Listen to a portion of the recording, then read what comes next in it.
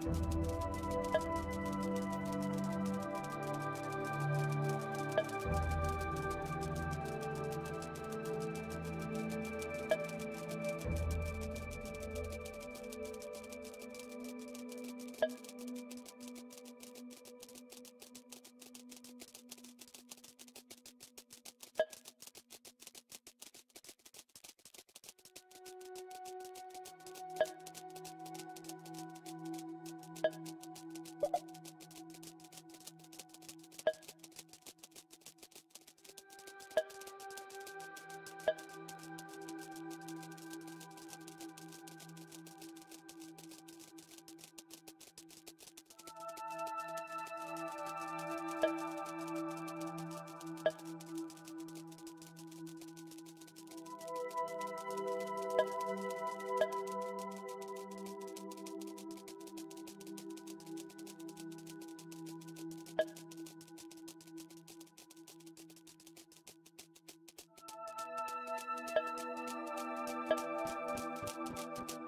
you